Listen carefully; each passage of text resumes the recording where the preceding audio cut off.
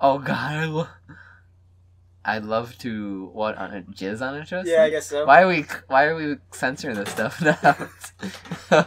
I can't imagine what could possibly fit in there that would be bad. Mhm. That is worse than anything we've seen already.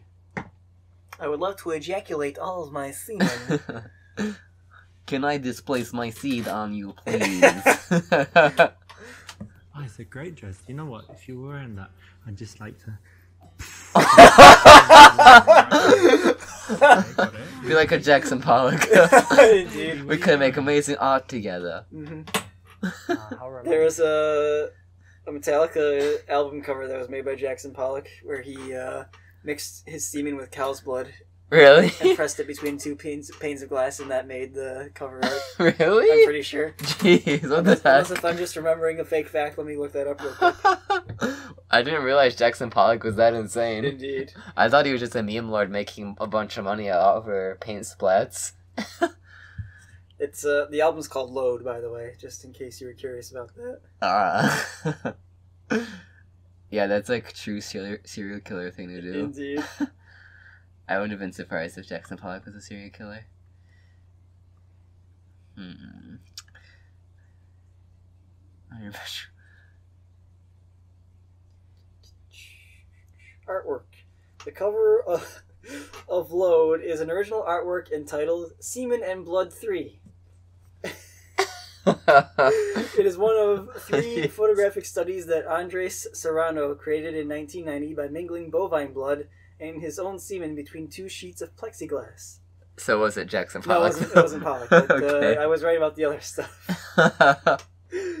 Oh man, that's so demented. okay. But uh, here, here's the album cover. Oh, why? Yeah.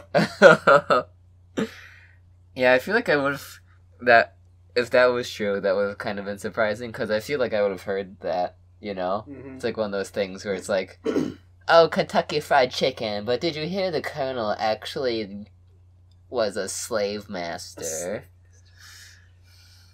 Or whatever. People just say like the random stuff.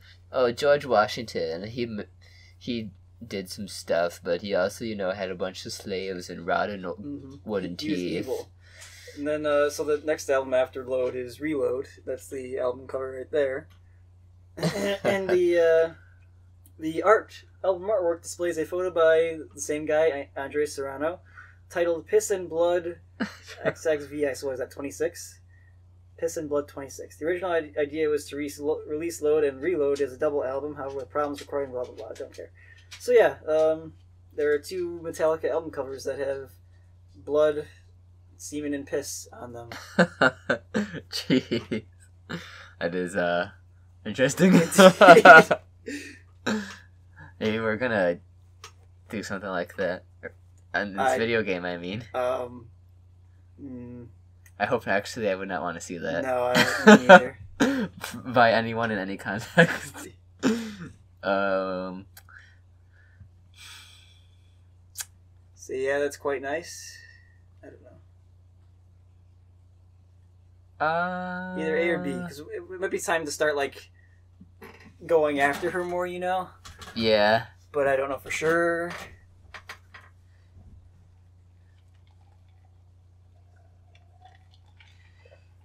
Yeah. So this one you're kind of friend zoning her and making her make the move, which might be what we Yeah, we maybe want. maybe that is right. Let's go for it. Why not? Well, yeah, if you were wearing a tight dress like that, I'd probably want to make a move on you. So I guess it's I guess it's oh. nice. Oh. Yeah, I mean, uh, like a friend. If I wasn't Mhm. like if I was your friend, no, if I wasn't your friend, I don't think this is the right answer. I'm looking for a girl.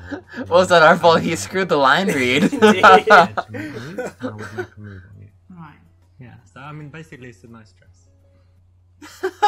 Oops, nearly got in trouble there, but just got away with it. And you know, it's not it's not worth being verbally sexual before you've kissed a girl. It really, in most cases, it fails.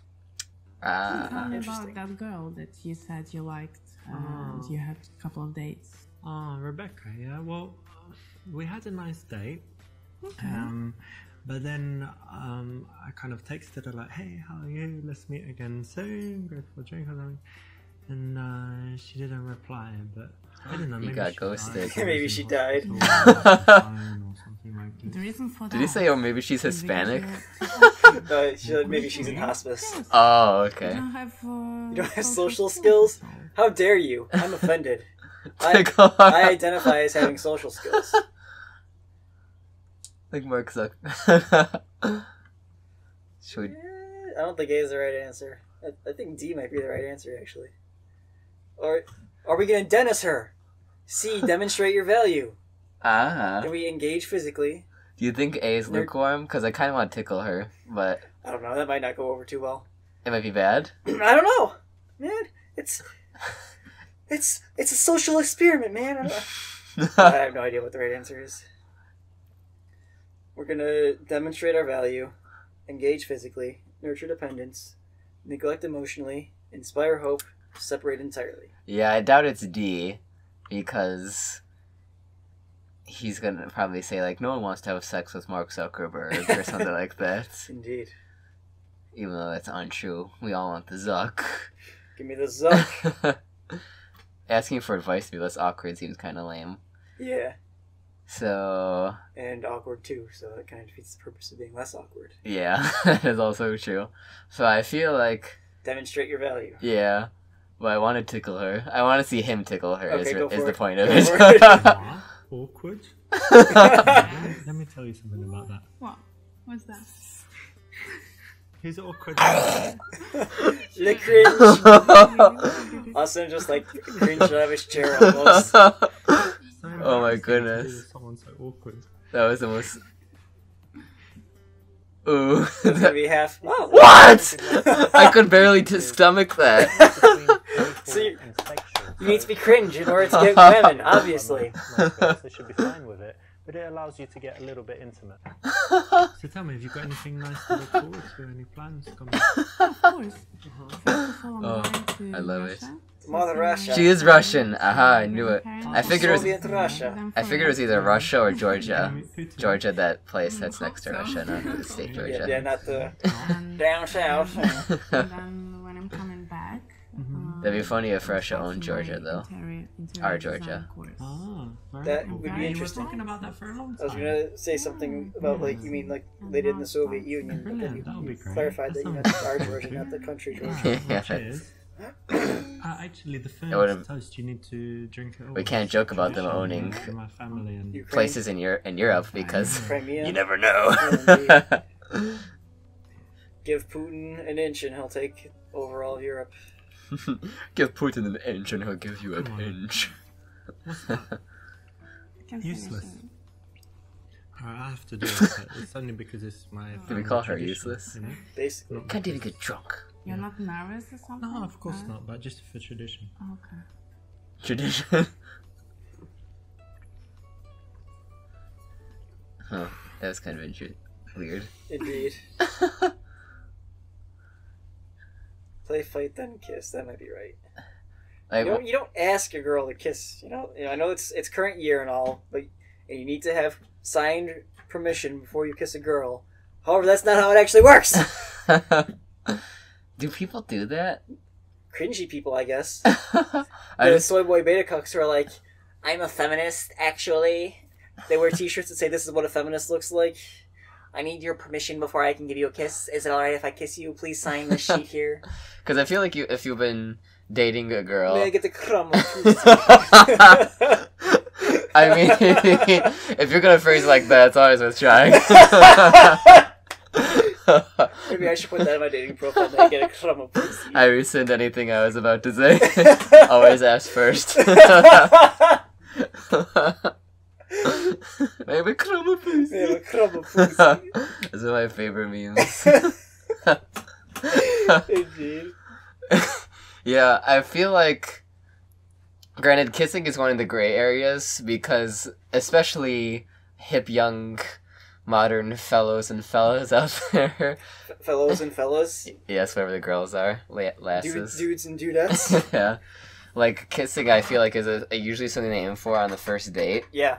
but that might be too soon for the girl. So I could see maybe having to ask. But I feel like you could also just read the situation. Yeah, exactly.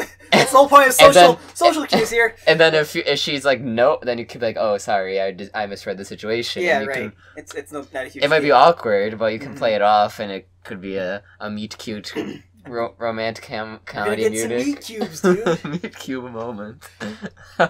and then, of course, if you're dating for a while and you're in a, or in a sexual encounter, it's like, I please touch your butt? Man, but come on, it's like you gotta ask before each phase. Yeah, it's, it's literally like like that, that episode of South Park a couple seasons ago where they they were had, had all dude bros in college who were like.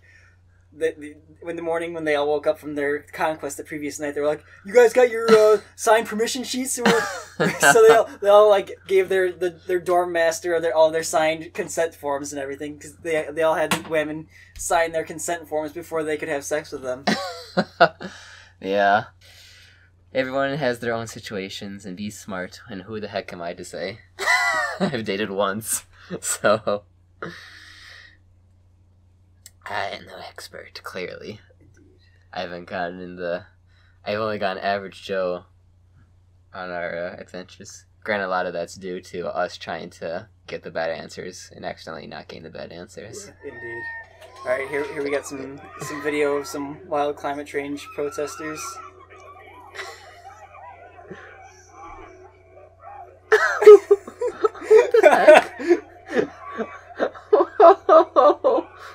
Dear Lord, Dude, what is happening? I have no idea, and I love it. That's like that literally reminds me of the Joker when he did that weird thing in the bathroom after he killed those people. Mhm. It's like either they're mentally unstable or like they're having a spiritual experience, like speaking in tongues and stuff. Indeed. Did you see the video of that guy speaking in tongues at his church? But he's just like on his cell phone. so he's just on his cell phone. He's like, he's like, I've come to me, Lord, come to me, Lord, and he's like, and and then he's like starts speaking in tongues, and Uh-huh. and then he gets on it. Well, I guess the better way to explain is like he's on his tongue. He's like, oh, that's all now, folks. And then he's like doing the tongues, and then he gets on his phone, and he's just scrolling on his phone, and his tongue degrades into just being like, "Uh." he's like so not trying. Yeah. Oh, it's that's excellent. That's hilarious. Let's see if I can find another another video of the climate change protesters because there was some some other really weird ones out there. yeah, that was uh, an interesting, hmm interesting little future. It's like, what's the point of that too? I mean, it, it, it's obviously not going to achieve anything. First of all, none of these climate tro- protests are going to achieve anything because you know many people have jobs anyway. So what are you going to do?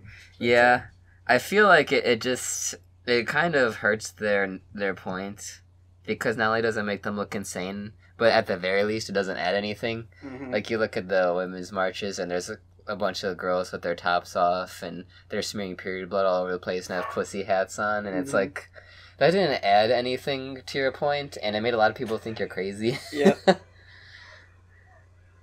um what is this? For climate change protesters. It's Tesla. It's scary. It's, it's literally like a cult. that looks like the Gwyneth Paltrow like things that they were doing. Indeed. They're doing some spiritual healing exercises or something. Is that what it's supposed to be? I have no idea.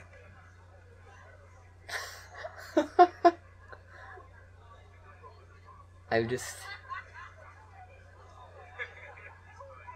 This is. this is unfathomable.